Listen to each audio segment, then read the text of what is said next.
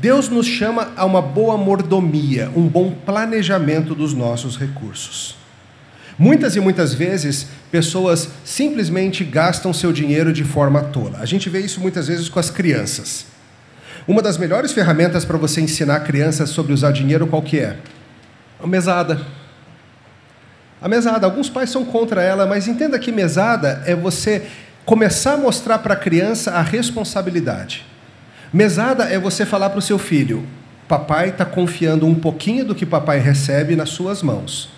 E eu quero, mas não é solto, é para te ensinar a crescer usando com sabedoria o dinheiro. Seja quanto for essa mesada, cinco reais, cinquenta, sei lá, seja quanto for a mesada. Porque veja, o que eu mais vejo são adultos que tratam o dinheiro que recebem, o seu salário lá no final do mês, como crianças que recebem a mesada e gastam no primeiro dia. Às vezes a criança recebe lá 20 reais de mesada, seja o que for, e corre comprar pirulito. 20 reais de pirulito, ou, ou do que for, ou 5, 10, o que for. E muitos adultos são assim. Muitos adultos são incapazes de planejar. Não é nem que não tenha um salário que permita, por exemplo, que ele faça um planejamento para comprar uma casa, ou um veículo, ou, ou seja o que for que precisa fazer. Mas é porque são incapazes de se conter. Essa cultura do consumismo que a gente vive insiste contigo que você tem que ter o último celular, que você tem que trocar de carro a cada tantos anos que você tem que fazer isso, que você tem que fazer uma viagem sensacional todos os anos, que você tem que, tem que, tem que, e você compra essa ideia e você se sente obrigado a fazer. Só que o dinheiro não dá, o que você faz então? Você parcela, né? Você compra aquele negócio, aquele pacote turístico em 60 vezes. Você fala assim: ah, eu vou lá, ver o Flamengo ser campeão da Libertadores, eu vou pagar em 60 vezes, eu vou. Aí você passa cinco anos lembrando que vocês perderam para o Palmeiras na final da Libertadores. Cinco anos pagando aquele negócio. Porque você não tinha como fazer, mas você quis fazer, e assim vai. Quem vive gastando tudo que tem, incapaz de planejar, incapaz de se conter, facilmente entra em apuros financeiros. Aquelas parcelas do cartão sem fim, juros sobre juros. Mas a Bíblia ensina também esse princípio da prudência e do planejamento. Vamos ver duas passagens. Provérbios 21, 17.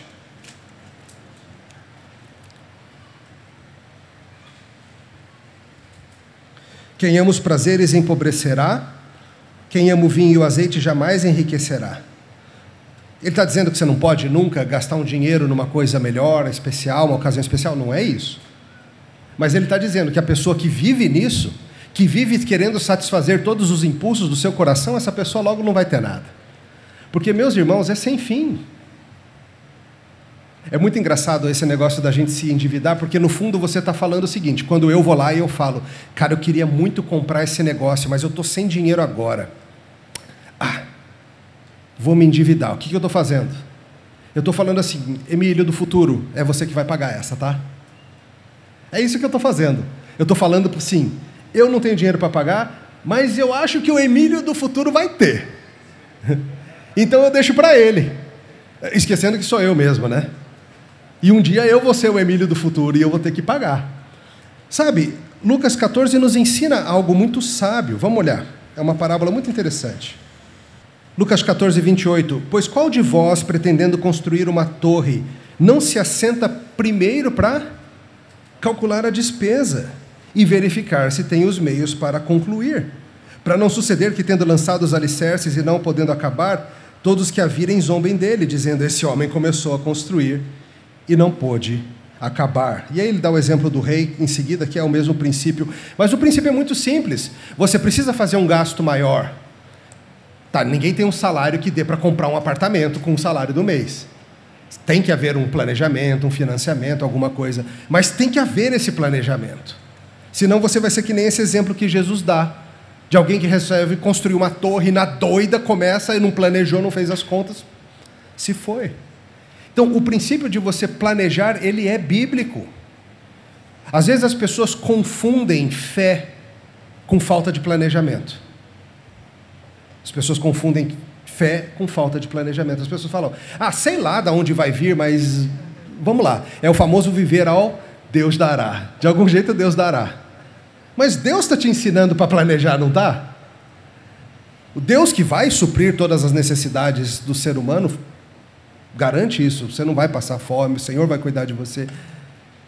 Mas Deus não promete que você vai conseguir pagar as 200 prestações do carrão que você comprou.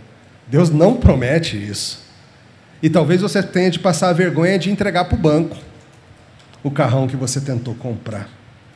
Então, queridos, boa mordomia cristã é um princípio bíblico, planejamento, um simples orçamento familiar. Não precisa ser um orçamento complexo como de uma empresa, um orçamento simples. Pastoralmente falando, a gente muitas vezes precisa aconselhar pessoas que estão em enrascada financeira. E, queridos, é assustador quantas pessoas não têm a menor ideia da real situação financeira da sua casa.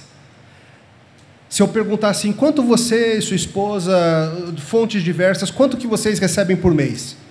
Ah, hum, por volta de, não sabe. Tá, quanto que sobra por mês? Não sei. Quanto que vocês gastam por mês? Quais são os gastos fixos que vocês têm com as coisas basilares? Não sei. A gente vai vivendo. Se tem saldo na conta corrente, eu compro. Se não tem, eu não compro. Compro no crédito. Muita gente vive assim. Isso não é bíblico, isso não é sábio. Deus nos chama a uma responsabilidade nisso. Nós somos muitas vezes o oposto de alguém que planeja se vai poder terminar o que começou. E a gente acaba se inferindo às outras pessoas também. Então, esse é outro princípio bíblico, o da mordomia no planejamento. Mais um princípio bíblico: trabalho é a forma padrão para se produzir dinheiro. Simples assim. Como que a gente produz riqueza, dinheiro? Trabalhando. A gente falou da formiga, mas temos outros textos. Vamos, 2 Tessalonicenses 3,10, texto que todos conhecem, mas vamos ler. Paulo estava falando aos Tessalonicenses, tinha uma turminha lá que estava meio encostada, o que, que ele fala para eles? Portanto, quanto ainda vos, convosco vos ordenamos isso: se alguém não quer trabalhar, também não coma.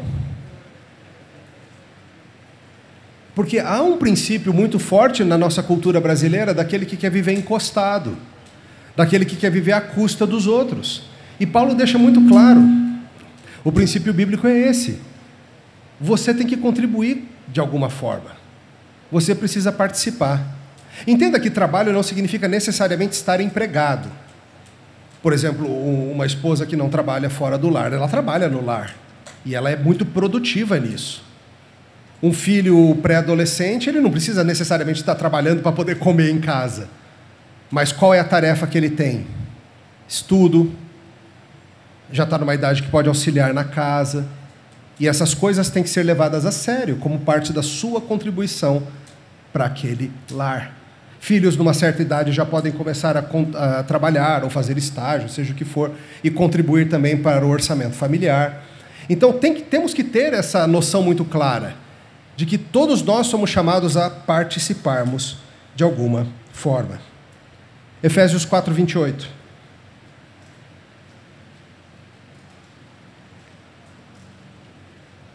Efésios 4 é aquela porção maravilhosa em que o apóstolo Paulo está falando sobre a nova vida em Cristo, e ele explica como que a gente muda. E ele lembra que, que aquilo que nós éramos, velhos homens, deve ser transformado em novas criaturas, como ele compara nós nos despimos do velho homem, que nem uma roupa velha que a gente tira, e a gente se veste de Jesus. E dentre vários exemplos, do 28 ele fala o seguinte: aquele que furtava, não furte mais, antes Trabalhe fazendo com as próprias mãos o que é bom, para que tenha com que acudir ao necessitado. Então, olha que interessante, qual que é o oposto de ser um ladrão? É não ser um ladrão? O oposto de ser um ladrão é trabalhar. O oposto de você tomar o que os outros produziram é você produzir. Às vezes as pessoas acham que um ladrão deixou de ser ladrão quando ele para de roubar. Não. Um ladrão deixou de ser ladrão quando ele, ao invés de seguir o seu velho padrão de roubar, ele começa a produzir, ele começa a ajudar. Inclusive, note aí que ele fala de uma produção excedente para socorro, né? A gente volta a isso já já, guarda essa ideia. Trabalho é a forma padrão para produzir dinheiro. Ao mesmo tempo, vale lembrar, irmãos, que a Bíblia também, diferente da sabedoria do nosso tempo, ensina que a vida não é trabalho. Às vezes a gente segue o lema do filósofo Murici Ramalho, né? Aqui é trabalho, como dizia aquele treinador de futebol. O cristão tem limites para o seu trabalho. Qual que é o limite? Tem um princípio bíblico muito forte: seis dias trabalharás, mas não no sétimo. Então, o dia do Senhor é um dia que a gente deve parar. É um princípio muito forte de que quando a gente não trabalha todos os dias, mas trabalha seis e não sete, o nosso coração é, é posto no lugar. O Senhor nos lembra de que, embora Ele espera que a gente seja produtivo, no final das contas vem da mão dele. A gente pode descansar nele, sabendo que será provido o que nós precisamos. Esse é um princípio que atravessa toda a Escritura.